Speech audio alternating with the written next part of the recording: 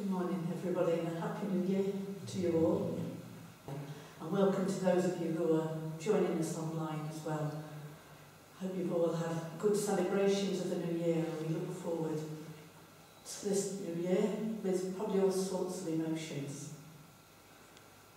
The, um, today we are going to be looking at a passage to, with Epiphany in mind, the uh, revelation of God incarnate to the Gentiles, to the Magi. But an alternate gospel reading for today, because of course Epiphany actually is on January the 6th, is from John chapter 1. And there's a there where there are two disciples with John the Baptist, disciples of John the Baptist. Um, and as they see Jesus walking by, John the Baptist says, Look, the Lamb of God. And the two disciples of John the Baptist immediately start to follow Jesus, who turns around and says to them, What are you looking for? So as we just, this beginning of this service, just ask yourself that question.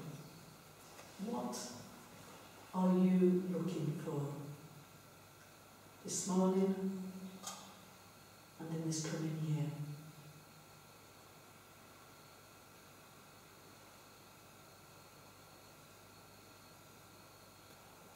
This was the moment when before turned into after.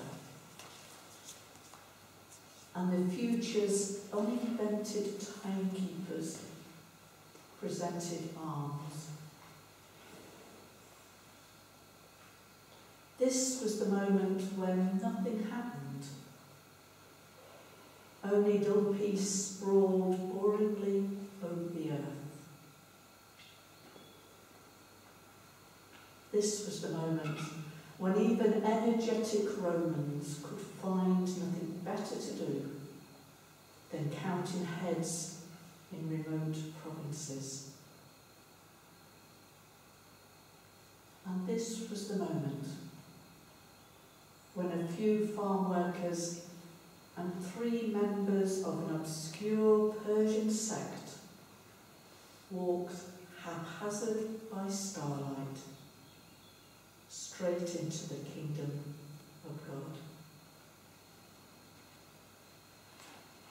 Poem written by U.A. Fanthorpe, a Quaker, who would write a poem each year at Christmas and usually had some sort of humorous element to it. This was the moment when a few farm workers and three members of an obscure Persian sect walked haphazard by starlight straight into the kingdom of God.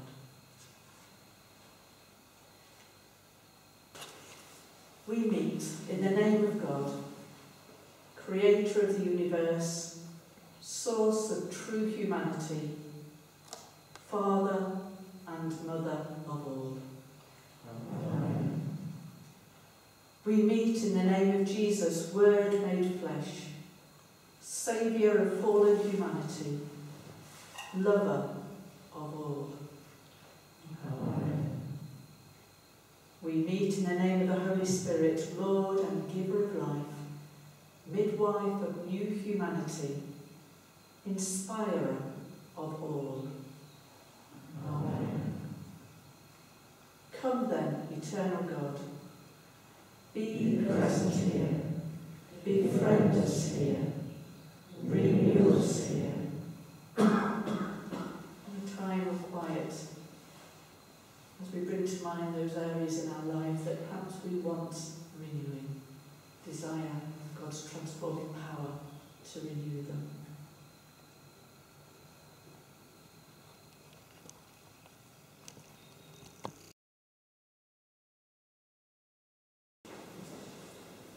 The reading is from Matthew chapter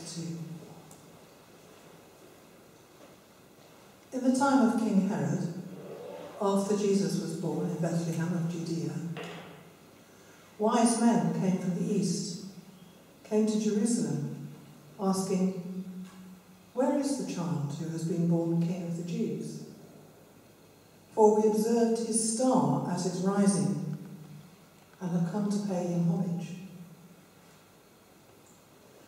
When King Herod heard this, he was frightened, and all Jerusalem with him. And calling together all the chief priests and scribes of the people, he inquired of them where the Messiah was to be born.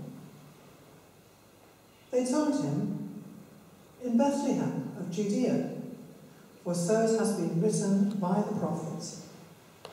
And you, Bethlehem, in the land of Judah, are by no means least among the rulers of Judah, for from you shall come a ruler who is to shepherd my people Israel.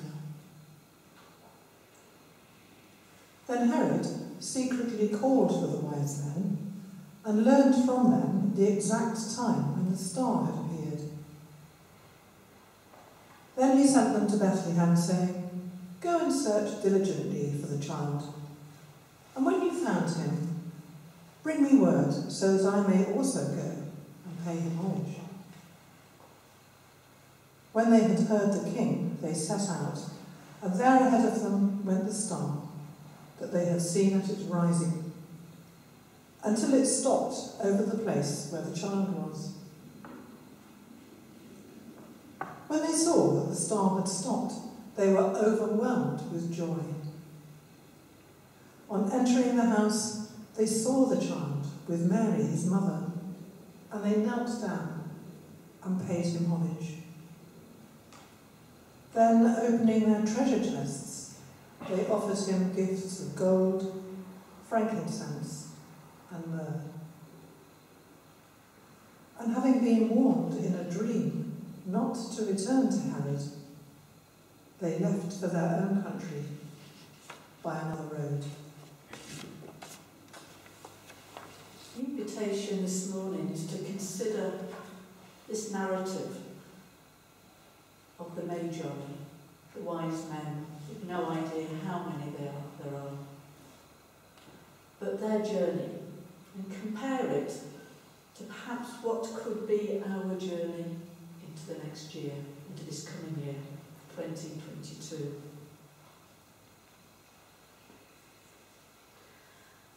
I am wondering what it is that these Magi were expecting to find. Okay, the birth of a king, the king of the Jews. But I wonder what exactly they were expecting of this child, or even if they thought it would be this child would have grown up. I wonder what it was that they were looking for. Whatever it was, it was sufficient for them to take up the huge responsibility of this long journey, traditionally from Persia through to Israel, to Palestine. And it struck me as I was reading this passage the various things people that they used to help them find their way. They were wise men from the east travelling to Jerusalem. And they made that journey because they had observed a star. These wise men were astrologers. Note, astrologers, not astronomers. I remember saying that once in a service, and afterwards a lady came up to me and said, I'm sorry, Joy, you've got that wrong. There is no way God would use people who were astrologers. But they were. So they used the stars as their impetus.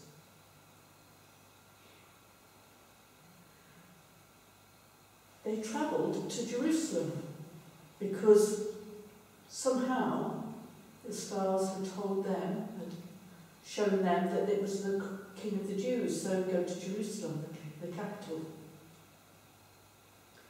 And there they inquire of King Herod. And there they tell him we've observed the star. And we have this narrative of where Herod, obviously feeling threatened by this other king of the Jews, inquires of the chief priests and scribes, who turn to their scriptures, the Hebrew scriptures. And it seems from those scriptures, Herod then relays to these wise men where they should go. And the wise men trust the Hebrew scriptures. They are not Hebrews, they are Persians. But moving from observing a star, astrology, to scriptures that are not part of their own religion. And we read that when they heard the king, they set out. And there ahead of them went the star, they had seen it is rising, until it stopped over the place where the child was, Bethlehem. Herod had told them to go to Bethlehem.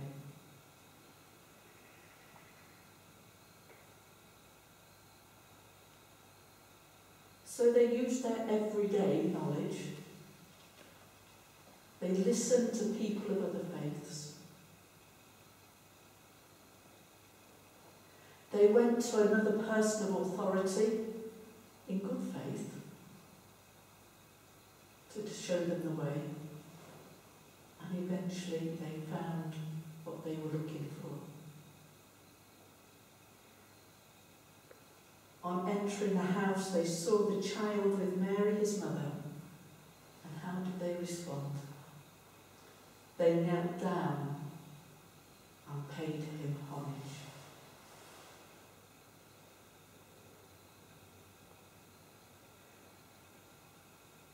Back over the last year, I wonder what sources of help you drew on to help you as you moved through 2021. I wonder what unexpected help came from a source perhaps you never ever expected. As we move into 2022, hear that voice of Jesus asking, as he asked those two disciples of John the Baptist, What are you looking for?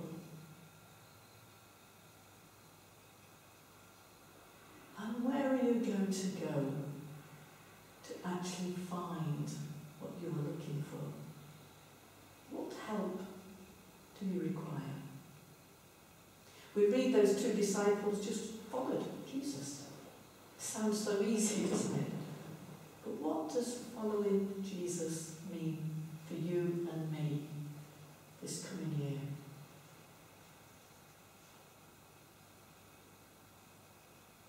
Where will you find Jesus in your everyday, as the astrologist did? Perhaps going to people of authority, some of which you may feel cannot be really uh, trusted. But even with King Herod, God used him. It may be from people from cultures and religions that normally you would not have, not mix with, but to have that open ear to allow the Spirit to speak to you. So, what signs will you trust this year? Which people will you listen to this year? Where will you go for direction this year? And how will we discern whether what we are finding out is actually leading us to what we're looking for. And how do we discern when to put that information to one side? And we recognise, realise this again, see this again in this story, in this narrative. Having been warned in a dream not to return to Herod, They left for their own country by another road.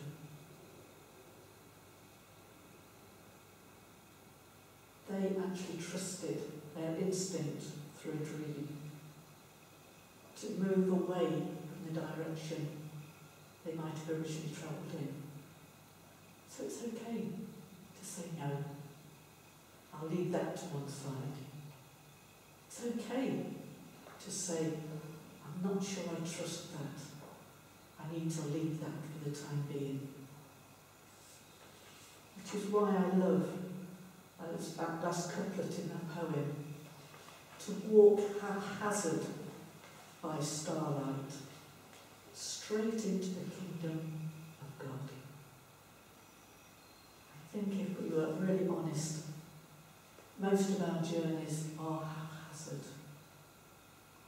But how wonderful that even a haphazard journey can bring us straight into the kingdom of God.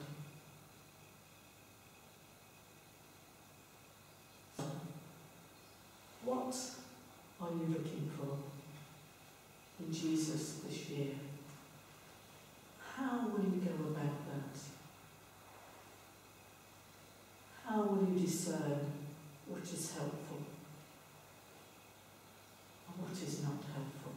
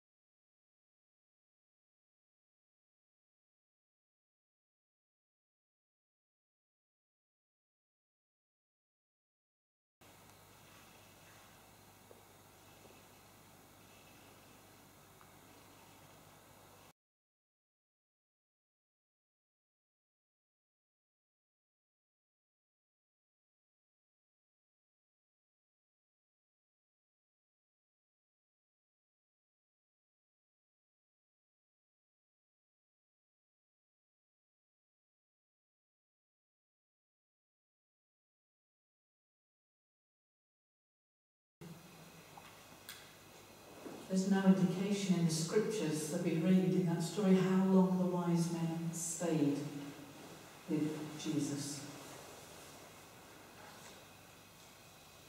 I suspect it wasn't just an in and out.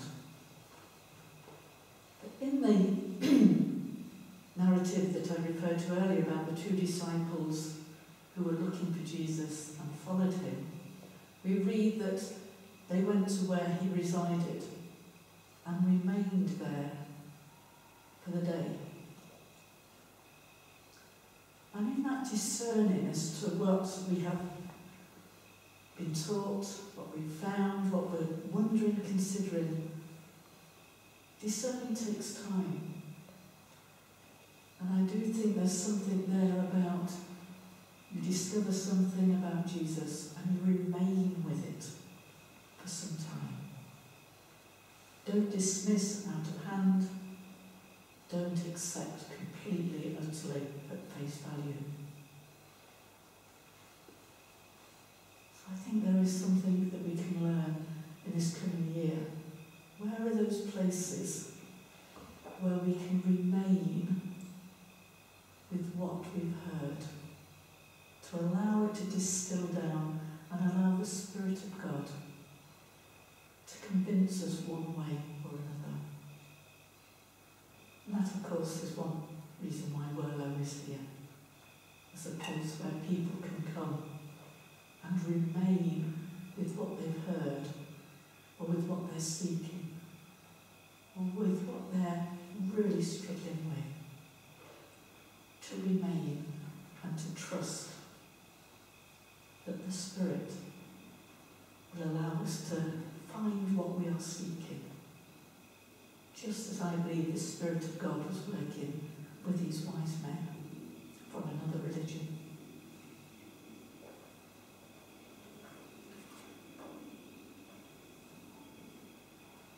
And for some, for many, this remaining round a table, table of bread and wine, allows the incarnation of Jesus to sink in. The reason why God revealed him or herself through Jesus.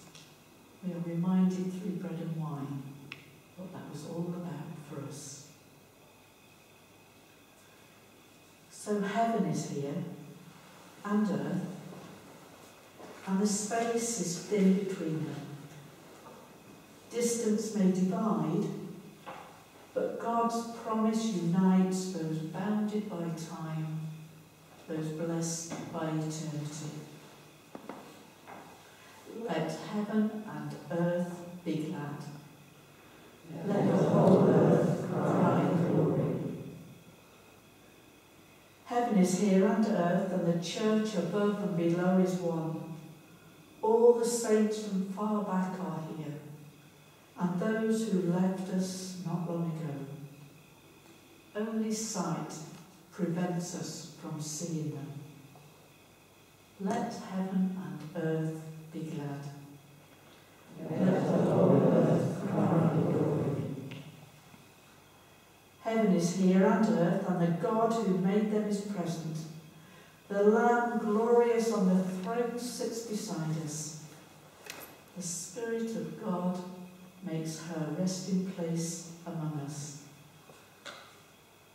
God inhales the breath of our prayers and spreads a table before us.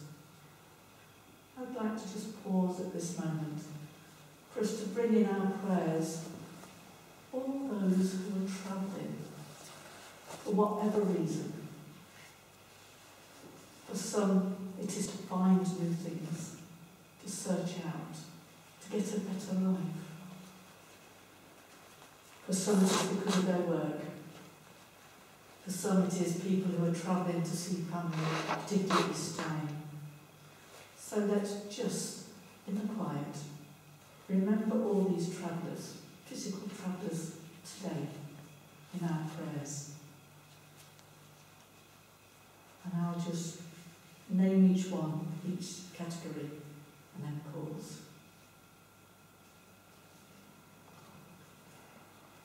So, Lord, we bring before you all of those who are travelling today.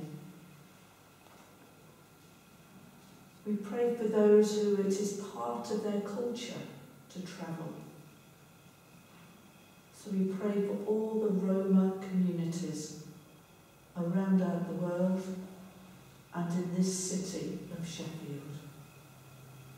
We pray for those who seek refuge from war, from famine, for those who just want to cross over a border from one country to another temporarily before they can return, and for those who seek asylum permanently. We pray for those who are travelling because that is their work. For heavy goods vehicle drivers,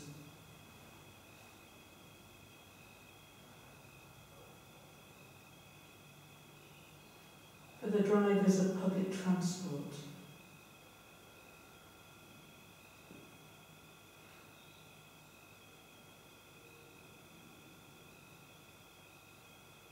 those who drive as part of the emergency services.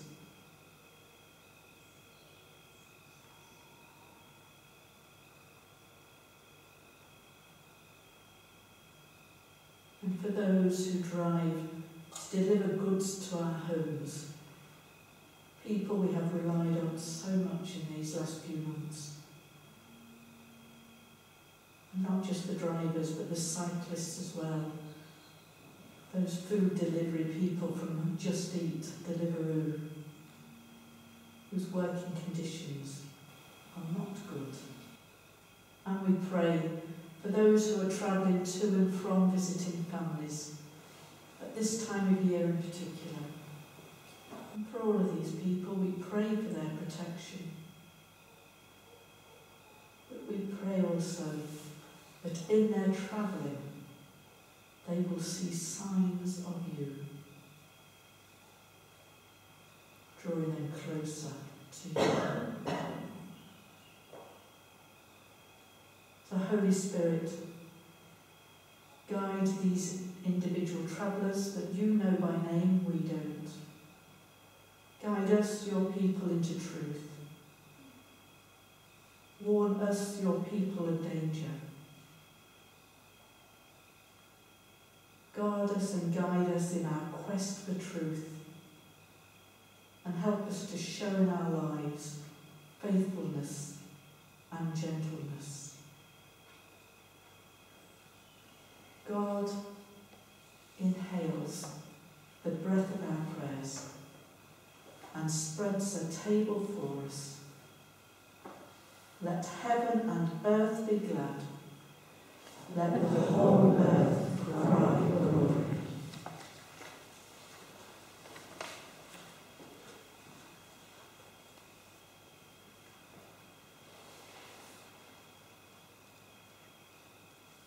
Lord, you have gathered us together. Make us one in you, one in heart and mind, one in thought and deed, to serve you and to do your will. Lord, we offer ourselves to you as we offer this bread and wine. As the grain is gathered from the fields to make one loaf, and as the grapes are gathered from the hillsides to make one wine, may we be one in you. Among friends, gathered round a table, Jesus took bread and gave you thanks. He broke it and said, This is my body, given for you. Let's say together, Be with us, Lord, in the breaking, in the breaking of the bread, in the breaking of our lives, in the breaking of our hearts, in the breaking of our hopes. Be with us, Lord, in the breaking, for you alone can make us whole. We'll say the next prayer when we eat bread together. At the end of supper, he took the cup and gave you thanks. He gave it to them and said, This cup is the new relationship with God, sealed with my blood. Drink it to remember me. Be with us in the outpouring, in the outpouring of the wine, in the outpouring of our hopes, in the outpouring of our troubles. Be with us, Lord, in the outpouring, for you alone can make us whole. You, Lord, are the bread of life. Let this bread be life-giving. Let this bread be a means of growth. Let this bread be for our strengthening, that in receiving this bread we may be one with you. You, Lord, are the true vine. Let this wine be for our refreshment. Let this wine be for our renewal. Let this wine be for our joy, that in receiving this wine we may be one with you. Lord Jesus Christ, you have put your life in our hands. Now we put ours in yours. Take us, renew us, remake us. No longer is what we have been as important as what with you we can now become. Amen.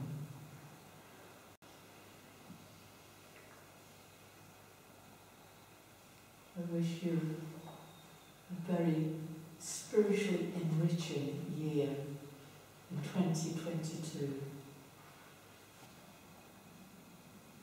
May the light of God illumine your path. May Christ, the light of the world, make your life radiant. May the star of the Spirit make the night bright as the day for you.